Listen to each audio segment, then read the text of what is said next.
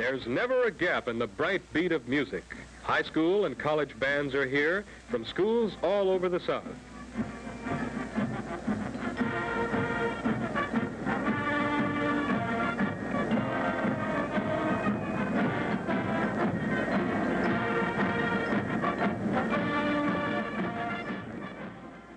Onto the field now comes the famed Pride of the Southland Band from the University of Tennessee for a musical fantasy, A Trip Around the World.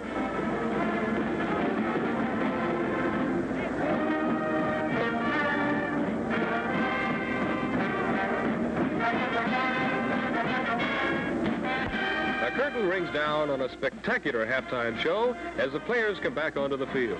So for the second half kickoff, here again is Dick Stratton.